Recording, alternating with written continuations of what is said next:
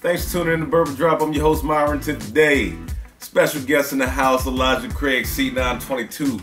Been waiting to get my hands on C922. Actually, C922 Larceny. Didn't think I was going to have a chance to get this until probably January of next year. That's just how my market works out. If you just saw my last video, it was a South Carolina Bourbon Haul. Picked this up down in South Carolina. They had two bottles on the shelf. Texted my buddies. I said, look, they got two who wants one? My buddy Nick must have the fastest fingers in the world because sometimes it seems like he's texting me, yes, I want it before I even hit send. So with that being said, bottom drop, bottom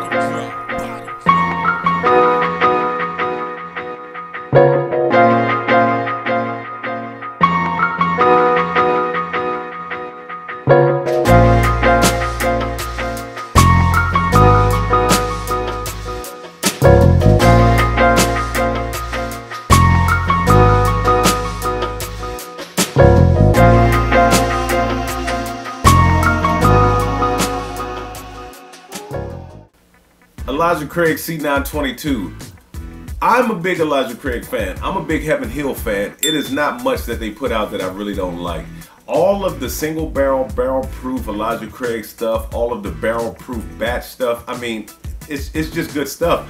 I don't think that I can say that I've had a bad bottle of any high proof Elijah Craig stuff. Most of the stuff just tastes delicious. I mean, and they're the good, I mean, they still maintain a certain flavor profile, but you still get some bottles that have that butterscotch. You still get some bottles that have a little bit of fruitiness in them. So I can't wait to see what this Elijah Craig Barrel Proof has in it. I mean, my, my one of my favorite bottles of the Elijah Craig Barrel Proof stuff was B520.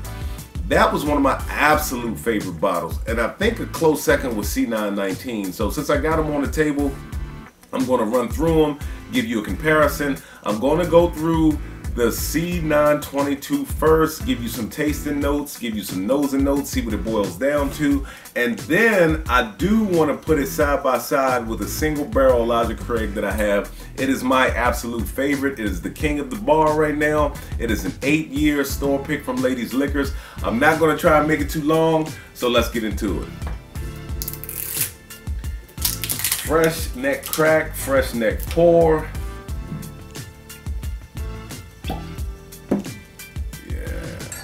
Cork pop.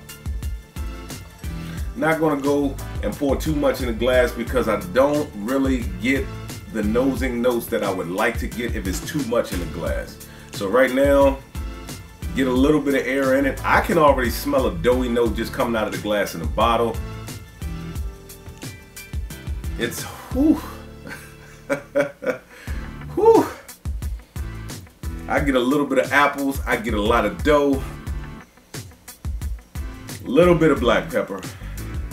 There's a there, there's a little bit of citrus just underneath of everything. It might shine through more once I take a sip. Let's see what we get. Cheers.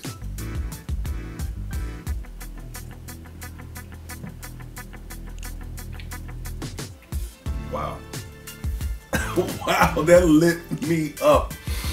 That lit my nose up. That is the first time I've actually got cherries and Elijah Craig. Whoa.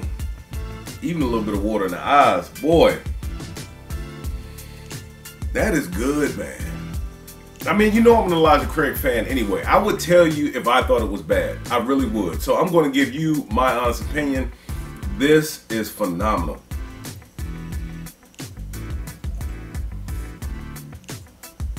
And that's just a neck pour. I do get some clove. I get some cinnamon and it's almost like a dry, not a cinnamon that's mixed in something. Almost like if, if you've ever tasted raw cinnamon, that's what I'm getting here. I do get some oak.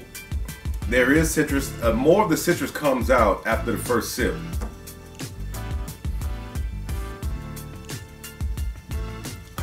I'm not getting as much maple and brown sugar as I normally get out of Elijah Craig.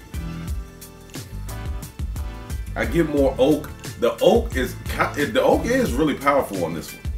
I mean, it's 12 years old, so you do have to expect that. Let's go back in.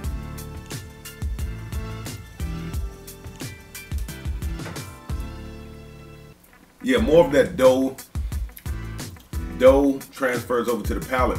I wasn't getting a lot of brown sugar in the nose, but I'm getting like a brown sugary flavor on the palate. It's uh it's it's oily. It's super oily.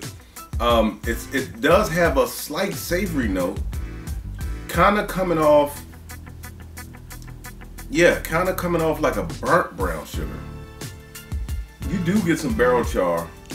That oak is heavy. The oak, the oak on this Elijah Craig C92 is heavy. Yeah, the oak is overpowering a little bit. Not in a bad way. It's got this very nice citrusy smell. It's not that citrus that's over concentrated that I can't stand. It's just enough to be in there. It's nice. Everything flows well. That was the first drink of the day, by the way. That's why it hit the nose so hard.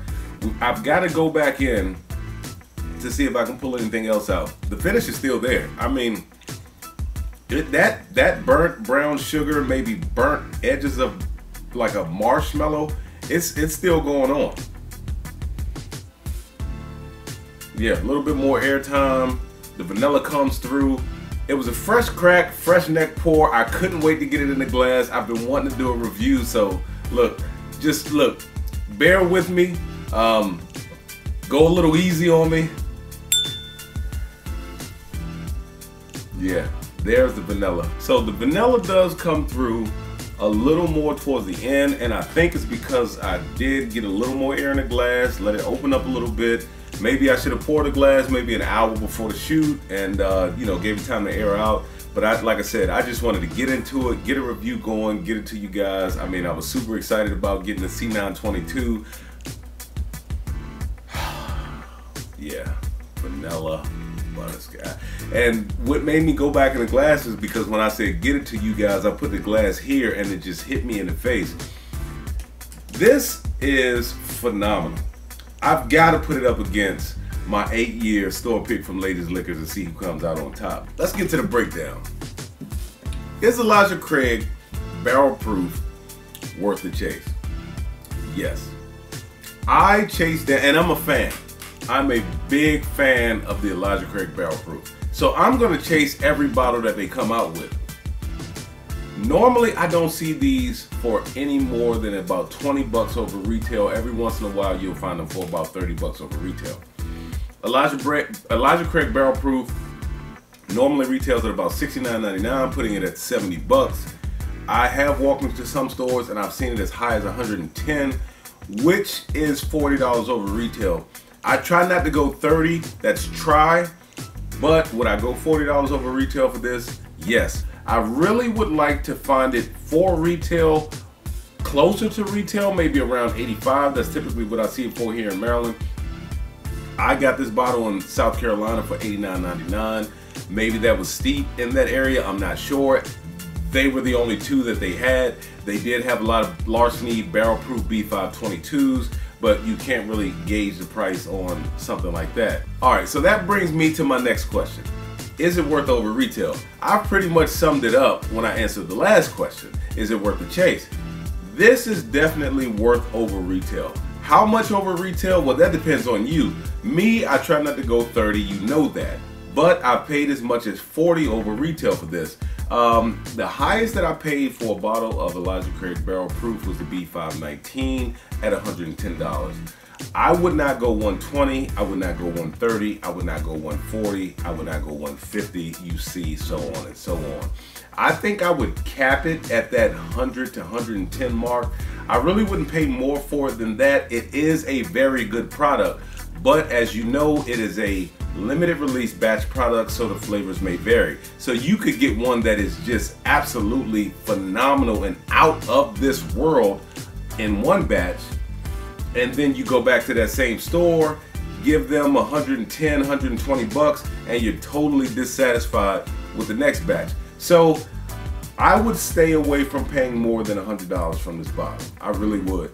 Would I do 110 again? No, I don't. I, I like to find it closer to retail. So every bottle that I bought after that was definitely closer to retail. Will I always keep a bottle in the bar? Elijah Craig barrel proofs are funny because They release them three times a year. Once you run out of one batch, it's going to be hard pressed to find that same batch. Every once in a while, you'll get lucky and find a batch from years behind, behind some bottles that are dusty on the shelf, but typically that's not going to happen. So, specific batches, I can't say that I'm always going to have on the shelf, but a bottle of Elijah Craig Barrel Proof will always be on the shelf. So, with that being said, I hope you've had as much fun watching this video as I had fun making it. Till next time.